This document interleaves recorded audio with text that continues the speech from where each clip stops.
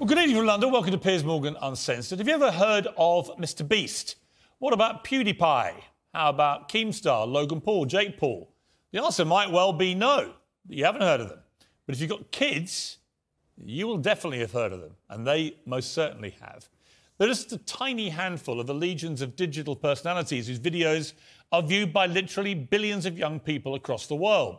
Their endorsements are worth millions in sales. Their opinions can instantly reshape conversations in schools, universities, and across social media. They're more influence than most musicians, soap stars, sports stars, columnists, lawmakers. But unlike those power brokers of the past, the politicians and cultural stars who could set the social agenda, these people seem to exist in a parallel universe. Their views go largely unchallenged, shared only as bite sized clips. Their digital businesses often operate beyond the scrutiny of normal journalists and even regulators. They wield massive influence over young people, and they're restricted only by the ever changing whims of big tech companies. It makes no more sense than senators or secretaries of state simply never appearing on television. Well, my guest tonight is a perfect case in point, an example of both enormous digital conquest and the risks that come with it. He's Andrew Tate. His last interview with me has so far been viewed well, over 8 million times on YouTube alone, 17 million times across all platforms, which is staggering for someone who perhaps you're watching and thinking, who is Andrew Tate? It was a robust exchange.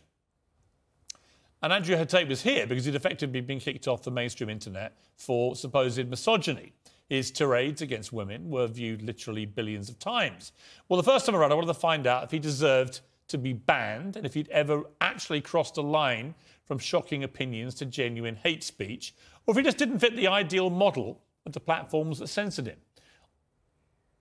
Let's go through some. Sure. Right? Do you think women are the property of men? No. The point I was Why, making. why have you said they are? Because I made a religious point. Authority implies that you have the ability to control someone. No, authority believes uh, the authority implies that I have the moral right to sit and say that that's an irresponsible thing to do, and I'm responsible for. That's not what authority means. I don't want to interrupt you. I just want to point out that's not what authority means. If someone gives, you can a person can give Voluntary authority is not authority. Uh, no, but that's the point. If It's a not. woman, Piers, Andrew, stop. and this is the thing that's interesting, Piers. Please let me finish. Yeah, but you again? You're Please. behaving like a politician. Yeah, But hang on. You could say I'm interrupting. You do. But, if- but you're answering a different question to the one I asked you. Fine. No, no. The you're point- weaponizing the weaponizing, which No doesn't problem. exist. No problem. If someone comes to me and says I'm clinically depressed or I feel very, very sad, I would say the first thing you need to do is stop accepting the identity of a clinically depressed person. Stop accepting you have no control over this. Andrew, you're simply wrong. If that's what you believe, Piers, it's what I believe. I don't believe in things that take power away. There is not an eminent doctor in the world Piers, that would agree with you. Piers, Do I- you think you know more than doctors? I can't become clinically depressed Why do you know? because I don't believe in it. It's a lively stuff. I also wasn't sure if I should be interviewing him at all. If he was so unpleasant, as so many people said, well, why extend his profile and give him a platform? But the fact is that that ship had already sailed. Every teenager in the country knows Andrew Tate. It's just a lot of the parents who don't. And since that interview, Andrew has been returned to Twitter. Its new owner, Elon Musk, is determined to perfect, protect free speech online. Many young people, especially boys, have literally stopped me in the street since that first interview to ask me about Andrew Tate. I've been staggered, honestly, by the response that I've had. What does it say about society that people like Andrew Tate can reach so many more people than conventional stars or journalists, even? Who gets to decide where the line is and whether people like Andrew Tate cross it? Are they part of a poorly understood movement that panders to teenage rebellion like punk rock or pornography? Or are we exposing young people to new and damaging experiences we often don't see and don't understand? It's a whole new world. There are more questions about it than answers, and we're not going to answer them by pretending it doesn't exist. Well, Andrew Tate joins me again now. Andrew, good to see you. Salam alaikum, Piers. Good to see you. I, I've genuinely been amazed by the reaction I've had in the streets. Not just here, but I went to Qatar for the World Cup, had the same thing there. A lot of people coming up about Cristiano Ronaldo, obviously, but also a lot of people coming up about you. And they were almost exclusively men, young men, who genuinely see you as a role model, as somebody who inspires them, as somebody they want to be like. Yep. So it made me think. I, the first interview you had was quite combative. The second time, uh, a shorter interview, less so. I want to try and work out in this one who you are, because it struck me as extraordinary that Google this week revealed some stats for the year. The number one person whose name followed people Google searching who is in 2022 was Andrew Tate. Yeah, that's quite remarkable. I think there's a whole swath of the population, especially young men, that feel disenfranchised. They feel disenfranchised with the media machine and the things they're supposed to believe. They don't feel an affinity with the educational systems or the culture. And they look at a person like me who stands up and says the things that many young men think. I haven't put a magic spell on the world. The fact that people like what I say means that they agree with me deep inside. They may be afraid to say it themselves, but I am seen as a bastion of free speech and a bastion, bastion for masculinity as a whole because a lot of men are largely forgotten about. Do you think you're a force for good, or are you a force in evolution where perhaps you've done and said stuff you shouldn't have done? And as you get older, perhaps as you get bigger, more followed around the world, you sense a responsibility perhaps you didn't have early on? Well, we all evolve. Every human evolves day by day. You wouldn't be human if you didn't evolve on an hour by hour basis. But I do not think I'm a force for good. I absolutely not really know I'm a force for good because I'm a force for truth. And truth is a good thing. Without truth, we're going to end up in absolute tyranny and slavery, and we're already on our way there. I feel like we're starting to combat it. My cancellation was the beginning of a change in public consciousness. Elon having Twitter is another beginning of the change in public consciousness. And anybody who stands up and speaks what they truly believe, even if it's something I don't personally agree with, I think that truth is absolutely important. And people's personal truths and people's personal opinions, even on differing sides of the same opinion, should be heard. Tell me about your life. You were born to uh, a mixed race uh, couple. Your Yeah. father was an African American, a chess player. Yeah. Uh, and your mother, she was from this country. Correct. Yeah. So my father was was black chess player. He was in the Air Force. He met my mother here in England, and then I was raised initially in the United States, and then I moved to, to Luton, England, when I was younger. So I've moved around a lot. I've lived a eclectic life in many different scenarios. We've moved around. I've done a lot of different things, lived a lot of different experiences, and uh, What I'm thankful for nationality it. are you? I mean, what do you identify as? I consider myself British now, but I will say that part of me, the patriotic Britain side of me, is devastated by the state of the UK currently, and I want to make that very clear. The patriotic Britain me truly loves this country, and seeing what's happening to it, especially to our major cities, is almost heartbreaking to watch in real time. In what way? It's falling apart. This is a failed society. By every metric you can possibly measure, it is absolutely and utterly failing. The cost of living crisis, the crime rates, everything is falling apart. If you compare it to a country like the United Arab Emirates, you compare it to a city like Dubai, London, which should be the greatest city on earth, is failing in absolutely every metric because our leadership is a joke. If you look at Dubai and the UAE, the leadership there is so flawless, so genuinely genius. They saw ahead and have built almost a utopia. And then you look at London, you can't even walk around with a watch on. It's disgusting. You know, it's very interesting. I was in Qatar for the World Cup. Obviously, a lot of people in England taking a very censorious moral view about the World Cup being in the Middle East at all because of their laws against homosexuality, because of their treatment of migrant workers. I've got to say, not that I don't share the concerns about those things, of course I do, but I found a lot of the virtue signaling, and I think that's what it was in many cases, about the whole region actually quite distasteful. Because when I was in Qatar, A, I thought the World Cup was fantastically well run, incredibly good experience. But a lot of Qataris were saying to me, you know, there's this weird, quaint feeling back in your country that we all want to aspire to behave like that. That we all want to ha- live in a country with massive drug problems, with massive knife crime issues, with scenes like the European Championships final where it's complete lawlessness going on, um, where stuff like the NHS, the system of healthcare, is basically collapsing, Yep. where the education system is dropping behind, so on and so on and so on. And it's a really interesting perspective. They were like, I know you all think that we want to have your form of democracy and your form of life, but actually, we're fine, thanks. Absolutely, because it's a failed society and it's godless. I think it's disgusting. We leave our old people to rot in old people's homes, and then we sit there and say we don't have enough money for nurses. I understand this nurse strike very well and how frustrating it can be if you walk into a hospital and the nurse is not prepared to work. But the nurses would be prepared to work at the current wage if they believed this country was spending its money prudently. When you see this country spending its money and just absolutely wasting it, pulling out of thin air to fund proxy wars, God knows where that has nothing to do with them. Of course, as a nurse, you're going to stand up and say, well, can't I get a pay rise? This country has failed on every metric. And especially our major cities. I, have just come to London now. I made it very clear to my private jet pilot. I said, fuel the jet and leave it running. Because the second I'm finished talking to Piers, I'm leaving this cesspit. It's disgusting. This country and London as a whole, 10 years ago, was one of the most hospitable cities on earth. Now you cannot walk around safely with a watch on. And you're a full grown man, you're a full grown adult. When's the last time there's been a serious problem in your life that you completely ignored and it fixed itself? Never, ever. What are any of our politicians doing to fix any of the problems we're dealing with? Well, I saw today that Sadiq Khan is planning to run again for the third term of office as mayor. All I can say is, I just, everyone I know who's had any experience of crime at any level in London in the last few years has had a bad experience of it, of the way it's been handled. You know, I mean, I can give an example. I can reveal this now. I've talked for 18 months. I got a specific death threat on one of my son's Instagram pages in public, a, a, a public comment. And it was very specific about what this person was going to do. I couldn't use the police to evade him. We, we know where you live. We're going to come and kill you. And then a second one threatening uh, my son and his mo- mother, my ex wife. I called in the police. I thought, I'm not having them putting death threats on my son's. Sure. I called the police. Police investigated this. They arrested somebody over a year ago.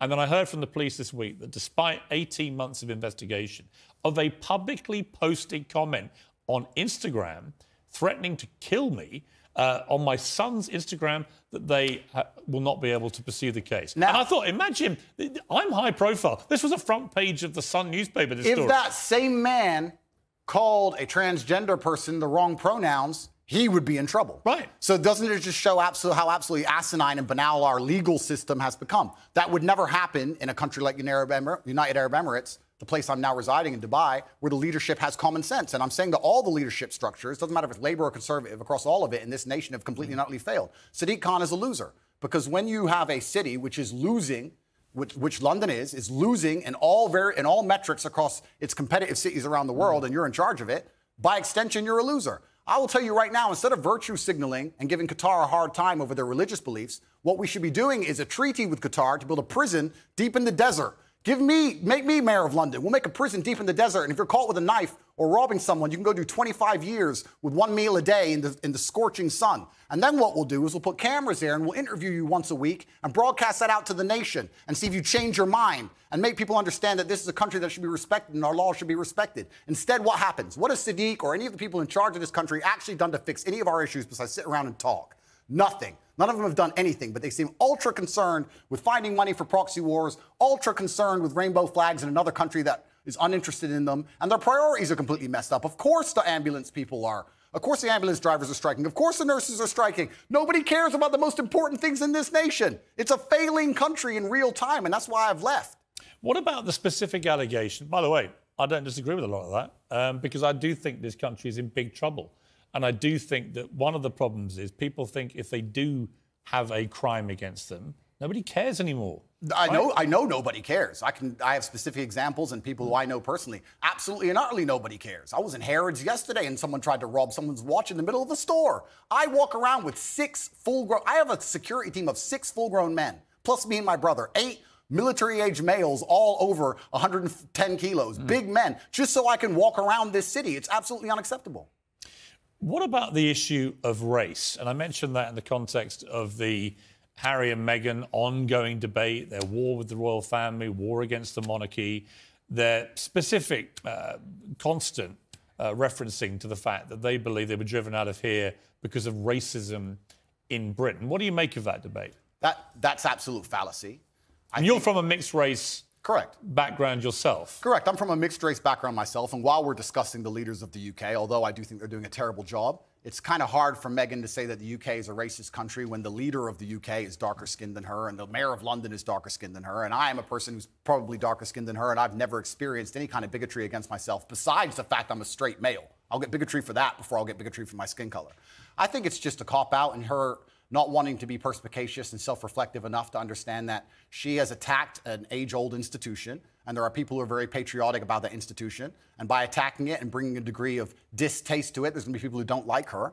And if you're a dislikable person, you can't just instantly stand up and say it's because of my skin color. It might because, be because of your actions and some of the things you've said. I mean, I think there's probably no doubt she's had racism on social media because it's Who a, hasn't, It's a, it's a. You probably have. Well, as I said just now, I've had death threats on social media, and no, no one, no one seemed to care very much. Yeah. Um, but I, I think that's probably inarguable. My issue with what they've both been doing is if you're going to make allegations against an institution like the royal family and the monarchy, you've got to actually provide some evidence. You can't just spray gun this thing out there and say, well, somebody was racist.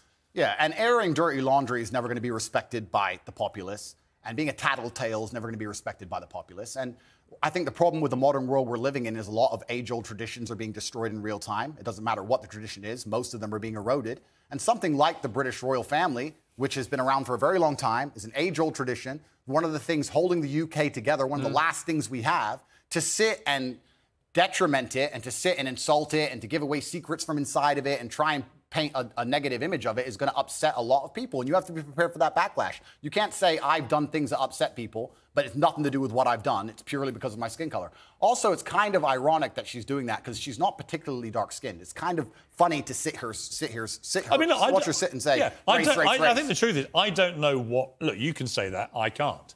Um, the, the reality of it is, I just don't know what the specifics of the racism she says she's had because we've not seen any evidence. The universe is a funny place, Piers. If you're looking for something, you're going to find it, right? When I got canceled, when they attacked me unfairly, lied about me across the entire mainstream media, deleted me from social media so I couldn't defend myself, and lied about me repeatedly, I could have stood up and said, It's because I'm brown. I didn't do that. I sat and said, okay, there's people who misunderstand my message. My message is a, is a positive one. People misunderstand me. Let me self reflect and understand that, yes, perhaps this said a long time ago was said in the wrong way. Perhaps this was misunderstood. Perhaps people don't understand this. I could have just copped out and could have just been refusing to self reflect on any level and said, it's because I'm brown, that's why they did it. But that's not the mature way to be as an adult. What did you think of the Jeremy Clarkson furore where he wrote what I think most people, but including him uh, belatedly after he'd published it and written the column, he did make a, an analogy from a Game of Thrones uh, scene, which most people, I think, did find crossed a line and was deeply offensive. I, I think it crossed a line. What do you think? Yeah, I understand why people feel that. But when you attack an institution as old as the British royal family, you're attacking patriotism in and of itself for one of the most respected countries or previously most respected countries on earth, and you're going to have some visceral reactions. Perhaps Jeremy Clarkson is, is too famous and too well renowned to say those kind of things, but there's a lot of people who genuinely feel that way, and that's why he said it. And this is what happens when you attack age old institutions in any country. Should he have ap- apologized? That's a good question. It looks like he did. Personally, I think as a man, you should stand up, say what you mean, mean what you say. I don't think you should ever apologize for anything you've ever said even me. What if, you, what if you say something truly then if, if, very offensive and you actually do regret it? If you truly regret it, then yeah, okay, you can apologize. But if at the time you meant it, then the best thing you can do is say, look, I have just changed my mind. I no longer feel that way, but at the time that's how I felt, and I'm the person who stands, says what he feels, and that's what I felt at the time, and I apologize that offended you. Andrew Tate, we'll be back with you after the break. We'll talk to you about Twitter again. Uh, Elon Musk restoring you to his platform. Has it calmed you down? Are you as controversial on there? Are you mindful that you're only one false move, like Kanye West, for example, away from being removed again. Well, Elon Musk has restored a throng of banned accounts, is taking over Twitter with a small commitment to free speech. He's also shown he has a line of his own, though. Conspiracy theorist Alex Jones remains banned. Kanye Ye West was reinstated, then banned again for posting a swastika inside a Star of David. Andrew Tate is back too for now, anyway. He was first removed in 2017 for saying women should bear some responsibility as victims of rape, and he hasn't exactly been shy since his reprieve. Let's take a look. Genghis Khan had endless women and 200 children as a reward for conquest. He tweeted, I'm the most searched man on the planet. I've conquered Earth. I'm the highest status male on the planet. Females do not expect loyalty from me, they only expect that of lesser men. Then there was this imagine having less than 10 children because you're a who doesn't have four wives, genetic failures. Finally, if a girl follows me and she's hot and I see a single picture of her in a private jet, it's block. Women can't afford jets. Women are all brokies. Why are you flying around on some man's jet? You should have been a virgin when I met you. Haram. All right, Andrew Tate. Now, you're, you're getting very near the knuckle with some of those tweets. Am I? You tell me. I don't think so. I think people can understand they're semi satirical. I think people can understand. Do you mean them as jokes or do you mean them? It's not that I don't mean them as jokes. I mean, they're a overall public commentary and observation. I do mean what I say. If I were to see a girl on a private plane on Instagram, for example, I would assume that a man put her on that private plane. I would not assume she bought it herself. What if it was Perhaps Ari- that makes me misogynistic. What if it was Ariana Grande or Beyonce? Well, that's slightly different, isn't it? Why? Because they're famous and very they're rich. Women?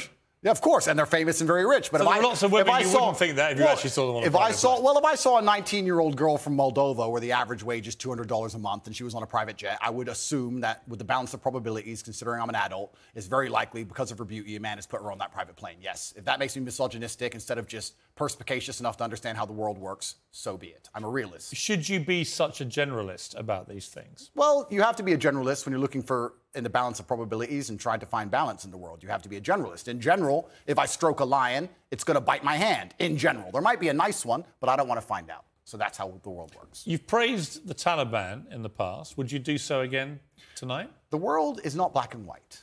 The world is gray. It's very difficult to sit and make black and white assumptions about anything. To sit and say that the Taliban are completely and utterly evil and we're completely and utterly good, as you just discussed with the moral high ground. I believe that the Taliban bring law and order.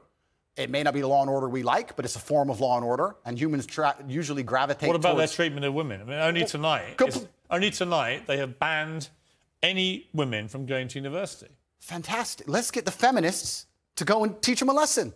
The feminists are so tough and they stand up and say they can do anything a man can do, let's arm them up and send them to Afghanistan. I'm sure they'll fix it. No, but it's, it's not. A, it's a it's a serious matter, isn't it? That women don't uh, get the a, education and that, they and deserve. That's, and that's a very serious answer. If women are just as capable as men in terms of combat, like feminists pretend they are, then they can go over there and they can deal with the a Taliban. lot of women do go to combat. Oh, exactly. So they can go deal with the Taliban. It's nothing to do with me. They can stand up and fight for their own rights. Surely you wouldn't defend the Taliban it, banning women from university. It's saying it's nothing to do with me, Piers. It's absolutely nothing what to do with me. What about the Afghan women? It's nothing to do with me on any level. You don't have a view? I have a view. My view is that people naturally gravitate towards law and order. And if you didn't have the Taliban, you'd have different warlords operating in lawlessness and there would be no way to prevent your store or your market stall getting completely robbed by someone with an AK 47, and people are going to gravitate towards a form of law and order. America left, they left a power vacuum, and the power vacuum is now full. Well, I don't disagree with that. Okay, well, but I do think I do think the banning of women from university in Afghanistan is utterly horrific. And I think the feminists are going to arm themselves. They're going to show us that they can do anything a man can do. They're going to go over there to combat, and they're going to teach Taliban a lesson. Why can't you just say on that, you know what, it's completely wrong?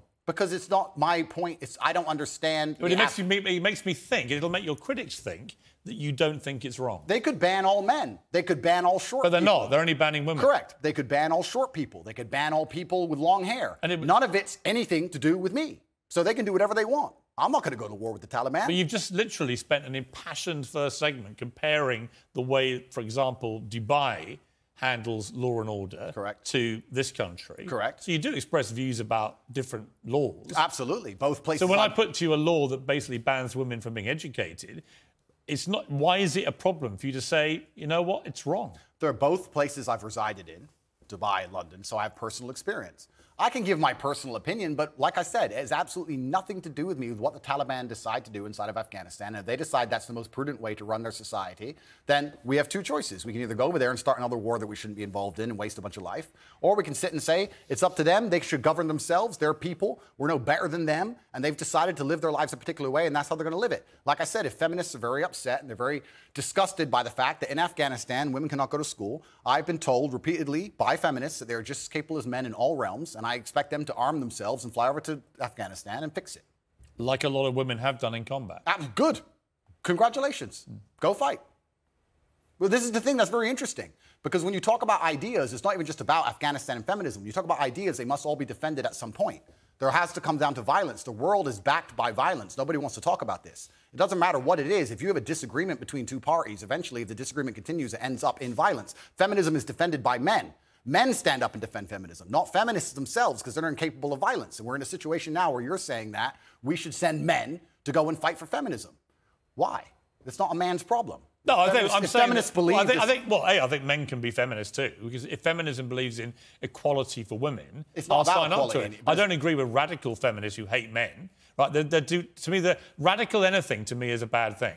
Yeah, and I think most feminism in the West currently is radical. Well, some of it is, no yeah. question. Absolutely. But this is my point. My point is that the Taliban are going to do whatever the Taliban decide to do. If I'm going to fly over to another country, I will respect their laws and customs. It's not my job to come along and tell other people how to live. I don't believe I have a moral high ground in that degree. And if people are genuinely upset and disgusted by it, the bottom line in most disagreements on the earth is violence. People who feel like they should go and fix it, then fix it with violence, then it can be the feminists who feel so outraged by it. But it's funny, they don't comment on these subjects, feminists. They seem to instead attack the Western male for some reason. You deleted a video in which you praised ISIS. Why? I don't know which video you're talking about in particular. It might have been a video from a long time ago. But in general, I understand that, like I said, the world is not black and white, the world is gray areas, and Western imperialism as a whole has been causing more problems than it's ever fixed, and it's disgusting. And I don't know the exact video you're referencing, but sometimes when an underdog destroys a Western imperialist, I have a degree of, I wouldn't say satisfaction, but every Satisfaction. No, but there's a, there's certainly a degree of uh, oh, At the, uh, the way ISIS. I don't know the particular. conducted themselves. I don't know about the particular video we're talking Well, about. ISIS were one of the most deadly terror groups in the world. Absolutely. They committed a series of appalling atrocities, Sure. killing innocent people left, right, and centre. Yeah. How could you possibly have satisfaction? Well, I, if it's the video I'm recollecting, if it's the video we're talking about, it's about the fact that I believe ISIS was funded by the West and created by the West in the first place. And it wasn't a degree of satisfaction like I'm happy ISIS exists. It was a commentary on the world. Well, here's what you said. ISIS are the real Muslims because ISIS do exactly what the book says kill everyone who's not a Muslim and chop people's heads off and set them on fire and be raging lunatics. But all the other Muslims go, they're not real Muslims because I read the book and ignore those parts. Well, then you're not an effing Muslim because you're ignoring the effing book. That's an interesting. That's an interesting point you've just raised because I am now Islamic, and it's it's funny because I used to be an atheist, and when you're an atheist, you believe that religion causes more problems than it fixes, and then you come to a realization and you start to learn the truth of yourself and the truth of God, and you realize that religion is actually the cure for most of the problems in the world, and godlessness is the problem in the world. So that is something I will apologize for and admit I was wrong about because I was atheistic, and now as a Muslim, I understand that's absolutely not the case. If that's the particular video you're talking about, then then there's Well, that's really interesting. So you, you regret saying that. yeah, because you learn and you grow and you evolve, as I said. Uh, at the time, I believed it because I didn't believe in God at the time. It was a very long time ago. It's actually kind of a testament to you, Piers. You managed to find the oldest possible videos of me that have ever existed. But at the time, I was atheistic. Well, no, I was curious because you have recently converted to Islam. Correct. So these questions, I think, are pertinent to your conversion. Absolutely. As to what you actually believe as a practicing Muslim now. Uh, yeah, I believe that Islam is beautiful. I believe it's the last true religion on earth. It's certainly the last respected religion on earth. And I felt differently inside since I've converted. And I think it has the solutions to a lot of the problems we're facing in the world today. That particular video was once again satirical. A lot of people watching this would not have seen it. They would not have seen the joke element of it. It's fine. It, but It's not funny, though, is no, it? well, you know, it's like most of the times we discussed in our first interview with me. Things are taken out of context, short form, et cetera, et cetera. But all in all, you could say the same things about Christians. If you were to read the Old Testament and say, stick to the Old Testament, you'd kill anyone who works on a Sunday. So it's not applicable to You wouldn't books and apply them. countenance violence. Say again? You don't countenance violence. I absolutely do not countenance violence. When I was talking about violence being the bottom line salute, the bottom line decider between dis- disagreeing points of view, it's not I'm s- calling for violence. I'm just making a commentary on how the world genuinely functions. But when you use a word like satisfaction, you understand that people will watch that and think, how can you possibly find any form of terrorism satisfying? I don't find any form of terrorism satisfying. I don't find Western terrorism satisfying either. I don't think it's satisfying that we managed to find $500,000 per bomb to drop on some farmer who makes $4 a day under the name of freedom. And, Well, we can't, uh, and, and, and we can't seem to pay our nurses enough to do their jobs. I don't find any kind of terrorism. And it's actually very interesting you talk about the world terrorism. Terrorist and freedom fighter, good guy and bad guy, all of this is subjective. There are people who believe that the West are the biggest terrorists on the earth. There are people who believe that America causes more wars than anyone else, and they've killed more people than anyone else. And there's people who believe the absolute opposite. So once again, it depends who you're talking to. It's a subjective conversation. There's no black and white in the world. There's areas of gray, and that's how it is. So I thought you were talking about another video where I was saying that ISIS is standing up and fighting for what they believe in. I'm not saying what they believe in is right, but that's what they were fighting for at the time. And it was a completely different video than the one you were actually referencing. But you would condemn them now. I don't condemn anybody doing anything bad to anybody. I, I'm not a person out here with a criminal record. I don't hurt anyone. I just spent my first segment on this show talking about how I believe in law and order and how important that is. I think people can operate inside of their lives safely and walk around, man, woman, child, can walk around in safety in any city they live in. How that law and order is constructed is not my jurisdiction. I'm not in charge of the law and order of, of Afghanistan, Tajikistan, Kyrgyzstan, uh, Afghanistan, Kazakhstan, any of them. It's nothing to do with me. I want to talk to you after the break about masculinity. Why is it that so many young men gravitate to you? What is your view of what it takes to be a man? Welcome back to this special edition of Piers Morgan Uncensored with Andrew Tate, one on one. So, Ash Sarkar, who's a, a lively contributor to this programme, has tweeted Andrew Tate, who you're interviewing about free speech, thinks women are a man's property. We shouldn't be allowed to drive. Boasts about only dating teenagers to imprint on them. Misogynists are discussing whether they're in Afghanistan or a swanky London studio. Am I a misogynist? Am I? I don't think I. First of the things she said, I don't even truly believe. Uh, it's I can if you're prepared to listen to me, I'll explain to you exactly why she's utterly and completely and utterly wrong. If you can go through the points again, she Well, said do do you think one. you're a misogynist? Absolutely not. I'm not a misogynist on any level. This is one of those buzzwords they throw at that just throw at people randomly. Homophobic, racist, misogynist. They just throw it out at people. What is I'm, your view of women? I'm a realist. What is I'm- your real view of women? I absolutely not really love women. I adore women. I have good relationships with women. Not a single woman has come up to me on the street since I've been canceled. Not a single one has said anything negative. Every single one of them has said positive things. You're a traditional male. I wish more men were like you. You understand your masculine roles. You understand what you're supposed to do. You understand you're supposed to protect women. You're exactly the kind of man I'd be looking for. I've never had a negative interaction with a female ever since I've been dubbed the biggest misogynist in Where the is world. the- Please, please let me finish. I'm sorry, sorry, Piers. Also, there's not been a single woman who's accused me of a crime, not a single woman who's accused me of rape, not a single woman who's come out and said anything from my entire past of 36 years I've done anything wrong ever. Anybody else with my level of fame, any footballer, any other movie star, at least has people who've come out and accused them of rape, X, Y, Z. I have no woman who's come out and ever said I've hurt her. No woman who's come out and ever said I've done damage to her or been horrible to her. Everybody who ever interacted with me has said I've been a nice person. All of them. Here's so what- this okay. random Twitter nobody who seems to know so much is full of All right, you, you've responded to her tweet. Yeah, uh, here's- liar. But here's what, where is the line for you between masculinity, which I will always defend, and which I agree with? I think a lot of women like men to be masculine, and, and what has become known as toxic masculinity. And the reason I ask you is that you are engaged in that debate with men all the time. Where is the line for you where men shouldn't cross, where the behaviour should be kept within a line? Please define toxic masculinity. Well, you tell me what you think it crosses a line from being a masculine, good man to a bad man. There's no such thing as too much masculinity if it's genuinely masculine. Genuine masculinity is not out here to hurt people. It's absolutely the opposite. It's out here to protect.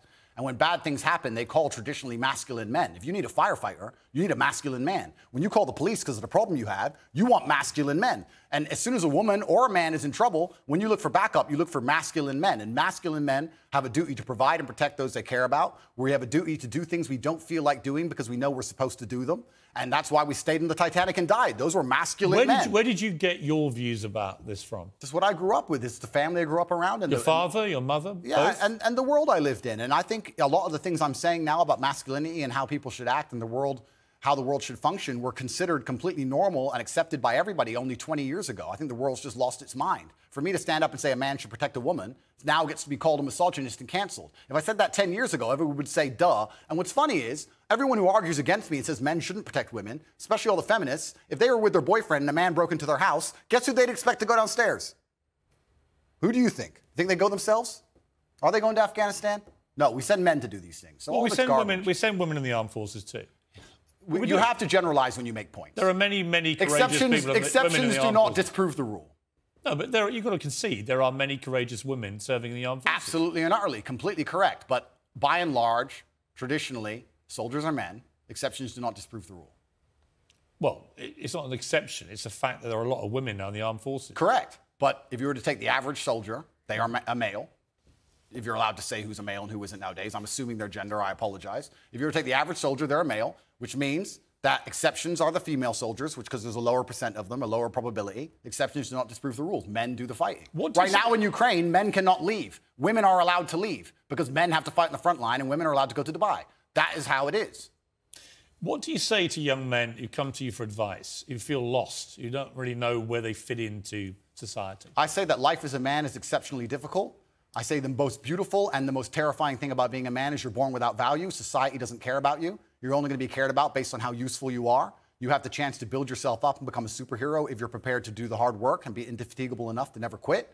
But if you're going to stand around and wait for a handout, nobody's going to ever respect you. And I think that a lot of people have forgotten about how difficult and how competitive it is as a man. We're always in constant competition with each other. And it's your duty as a man to stand up and say, I want to be as important and strong and good hearted and God fearing as possible. And I need to work hard to achieve those things. Dame Sheila Hancock says we've become too over emotional as a society, crying too much about everything. Has she got a point? She's completely right. And the dangerous thing about overly emotional men is that they're dangerous. They're genuinely dangerous. This is what's crazy. All these people who talk about toxic masculinity and how bad it is for men to be traditionally masculine. A traditionally masculine man does things he doesn't feel like doing because it is his duty to do them. He charges into the building because it is his duty, not because he feels like it, because it is his duty. We're now teaching the new generation of men that they don't have duty and they can just act on their feelings and act how they feel and they don't have to act as a man should. Do you know what happens when you get men who just act how they feel? You get school shooters, you get violence, you get rapists. Men who do not control their emotions are dangerous. If you find a man who is stoic, he's not going to hurt people. He's going to sit and think about his actions very carefully, and he's going to be a good man who protects for, and provides for his family. You find a man who just acts out on impulse and does whatever he feels like, you're going to find a dangerous man. Sitting here telling men to cry more and act with their feelings, and it's okay to feel this way, that way, etc., and have no self control. That is why we have the problems we have in the world absolutely not wrong. So when they talk about toxic masculinity, they have it completely inversed on its head, completely not wrong. We need to be teaching stoicism. We need to be teaching young men to understand that the world is very, very difficult. It's hard to be a man. You're going to feel bad sometimes. You just suck it up and perform anyway. Not to sit there and cry your eyes out or blame other people. Tough being a out. woman too in modern society. It's certainly tough being a woman, but I'm not a woman, so why would I speak on issues I do not understand? I'm a man. You can feel an empathy for women. I feel empathy certainly, but I do not understand their issues. See, a lot I, of men come up to me and they admire you. I've got to say, a lot of women I've spoken to don't admire. They think you represent misogyny. They think when they hear you not commit to saying the Taliban shouldn't be banning women from university education, well, why can't he just say that's wrong? Well, firstly, that's not my experience. I experience the absolute and utter opposite of that. Secondly, it's because it's a moral point I'm making. My moral point is I speak on things I understand. I speak on experiences I've had. But I you believe on, in equality? I speak, yes. I Do speak you? on, uh, sure. I speak on subjects I know intimately. I do not feel qualified.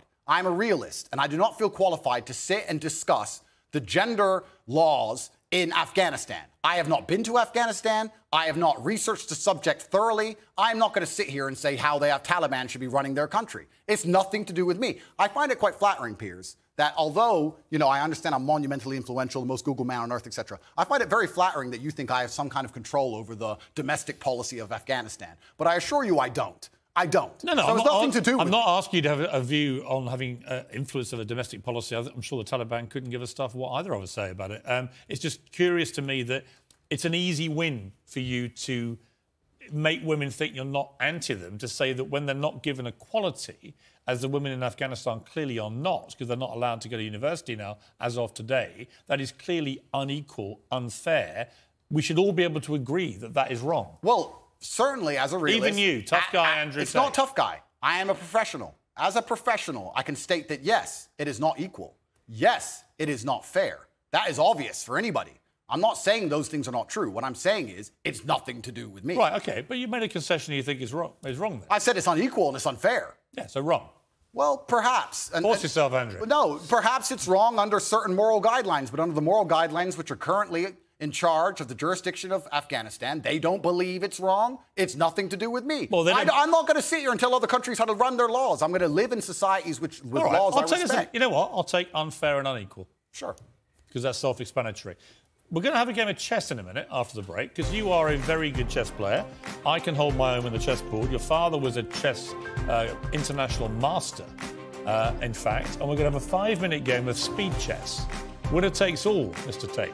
Welcome back to Piers Morgan Uncensored. And Andrew Tate is still here. Andrew's father was an American chess international master, and his son's pretty good at it too. Well, I can hold my own as my school chess champion. Uh, and with five minutes left on the programme, we're going to have a game of speed chess. Winner takes all. All right, well, you're white. Off you go. That's racist. Off we go. Five minutes, go. That's racist, Piers. Cancel Piers Morgan. Okay. Are you good, Piers? Well, Are you clearly, going to destroy me? clearly from this opening, better than you. Let's see, I guess, aren't Okay. Let's be aggressive, shall we?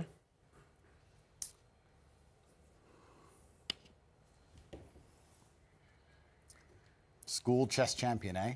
Mhm. It's tense. Certainly. Lennox Lewis was better than you when I played him. Was he? Well, he beat me 39 times out of 40. Check. Yeah, he is uh, pretty good at the game, I heard.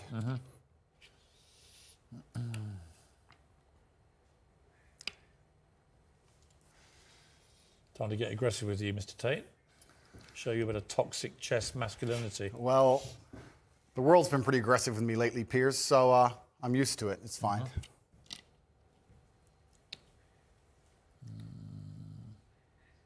Okay. Oops, apologize. How long we got? Why do you think the queen? 345. Why do you think the queen gets to jump across the board and the king doesn't? Because it's sexist. The game of chess is sexist, but perhaps it reflects life, Piers. Haven't you ever thought that when you look at a yacht in Dubai, You're running out of time. Oh. Stop stalling. I know what you're fine, doing. I'll just take your Oh, queen. God! I'll just take your queen. Damn it. I was trying to give you a little speech there. You didn't want to listen to it. No, I I was trying to didn't. tell you when you see a yacht in Dubai, the girl just gets an Instagram invite, gets to jump right on board. She So gets listen- to run across the board and do whatever she wants. But the man has to get there a square at a time. The man had to buy that yacht. That's the difference between being a man and being a woman. That's why the queen gets You to know how she does. A chivalrous man just always lets ladies go first. Life and chess reflect. That's why I let you go first. Life and chess reflect, Piers. Mm-hmm. I've made a catastrophic error, but I'm bouncing back. Let's see. I always accidentally take someone's chick. Three minutes. I don't even mean to. It's just like, oops.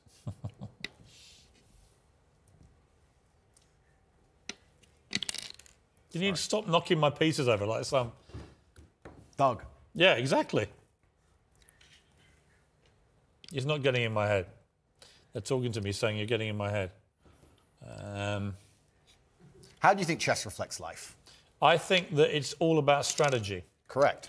That if you're good at chess, you can be good at pretty much anything because it's about thinking ahead, it's about planning, it's about relentless practice. And you know what else is beautiful about chess? Mm-hmm. If you lose, somewhere you made a mistake. There is no luck. Absolutely right. In chess, even if it's the smallest mistake, somewhere it was your fault. It teaches absolute self accountability, which Yeah. is something that we need a lot more of in the world today. That is true. And that's why chess is so important. You can take my knight if you want. Okay. You don't want it? Why do No, you you- want my knight? Because I'm playing a long game. Ah, okay. I thought you'd want it. I'm going to leave it there in case you take it anyway. Okay. I'm going to go. Because I know what you want me to do, and I'm not going to do it. Actually, I will do it now. Okay, good. Check. Uh, Check. Check. Check. how long? I need to buy some time here. I need to buy some time. Uh, this is really playing well on radio, by the way. I'll have that. Thank you. Damn it! Ah, I'm screwed. I'm screwed. How Don't much- say that. How long have I got? One you minute to twelve. Believe in yourself. Oh, I never ever give up. believe in yourself, Piers. I do believe in myself, thank you. Good. Self belief is important. I do believe in myself, but this has not gone well. You're quite good at chess, I'll give you that. Yeah. Well, in the chessboard of life, I've done pretty good. I've done okay. Check. The question is, can you beat me in time? You've only got 50 seconds. Check. That's interesting. Yeah, I don't think you can. Let's see. Uh, Mate in two, Piers. Yeah, you can have that. Doesn't matter. It's mate in two. Check. Mate. Good. game. Good game, sir. well played. Thank you. 25 seconds away from safety. Okay, well, Andrew Tate, I'll give you something. Uh, you're good at chess. Thank you. I'll. You have to be. You just beat me. I know you're a national, internationally renowned. What has player. chess taught you about life, quickly? I can teach you a lot of things. Like I said about the queen being able to run around the board, the king having to move a square at a time, about the fact you need to think ahead, absolutely everything is your fault. But there is a saying which is actually one of my favorite sayings in the world. It said a well-gamed, a well-played game of chess is a sign of a gentleman, but an expertly game, expertly played game of chess is the sign of a wasted life. And it's kind of sad. It was I said played, by I played Lennox. Lewis in, on Celebrity Apprentice 39 times out of 40 in America years ago. And he, he beat me 39 times out of 40, I mean. Uh, and I was amazed. He was taught by his mum. But he was all about the he- way he fought, the way he boxed, Yeah. was all down to the way he played chess. Yeah, chess- It was all about looking ahead, getting ahead of your opponent, planning, planning punches, you know, all that kind of thing. Chess absolutely reflects life. And even I say this now in my business meetings with my team. A lot of the problem in the world today, especially with teams and businesses, et cetera, everyone wants to be the king. But if you want to have a team, if you want to have a side that wins, if you want to win a game of chess, everybody has to know their role and do their role effectively. There can be a king and a rook and a pawn and a bishop and a knight, and everyone does everything correctly. And when that happens, you have a very formidable board and you're hard to beat. And uh, chess reflects life absolutely. It's something I do every single day. What kind of man was your father? He was the greatest man on the face of the planet. But uh, luckily, he had me. And now, in the natural order of the universe, he is gone, and I am here, and I carry his name, and it is my duty to bring honor to him. And this is one of the greatest things about achievement, because achievement honors your ancestors. People talk about my father because of how successful I am, and people will talk about me into eternity, even after my death, because of how successful uh, my son will be. This is the great thing about achievement. It's an honor to your ancestors What would he have made of your success, your father? he would be extremely underwhelmed by it because he always expected it of me. I am Emory Andrew Tate III. I can do whatever I put my mind to. And he would be like, well, of course, you decided you wanted to become the most famous man on the planet. It took you a few months, of course. Does your, does your mother ever do what my mother does and occasionally go, I think you went too far there? My mother has absolute trust in my abilities and capabilities. She says, be careful, do your best, but you are the most capable and competent man on the planet. And that wasn't the question. That, that's what she says. She says, Did, be careful. Does she ever say you shouldn't have said that? Nah, she knows better than that. Really? Go no, never. She says, uh, "You're just be careful. You know what you're doing." It's kind of hard to argue against me, and this is what my haters seem to struggle with. It's hard to argue against a person who is monumentally successful in every single human metric that can possibly be measured. This is why young men respect me so much. They Would want you ever to tell be, your mother what they to do? They want to be my life. Do you ever tell her what to do? I don't need to. She's a full-grown woman. Would you ever tell her what to do? I would give her my advice if she asked for it. You say you can't leave the home, you can't drive, all those things you joke about? or- I would give her my I'd give her my opinion. I would say perhaps you should move house now, or perhaps that's not safe, or yeah, I would absolutely because I'm responsible for her safety. And when you're responsible for somebody's safety, you have an opinion, and you need to have a firm opinion on that subject. So completely, for any woman I am responsible for, for any woman I am responsible for her safety, I will sit and say that's an unsafe thing to do. How much are you worth? I'm a billionaire by now. Dollars or pounds? About dollars. We're not in pounds yet, but All we'll right. get there. So what to do? yeah, we have a, a little bit of work to do, but it's Finally, I know you don't know anything about football and care even less, but greatest of all time, Ronaldo or Messi? they're both two very hardworking men. I have absolute respect for anybody on earth who dedicates themselves to this. Andrew Tate, thank you very much indeed. That's it for tonight. Keep it uncensored like it was tonight.